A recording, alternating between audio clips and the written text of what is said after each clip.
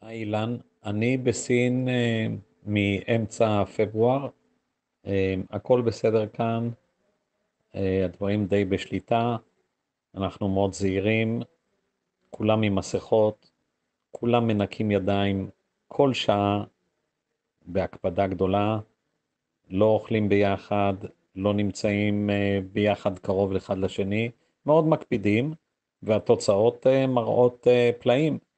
יש כאן בגואנדונג 100 מיליון איש, וכבר שבוע, לפי הבנתי, לא נדבק בן אדם אחד.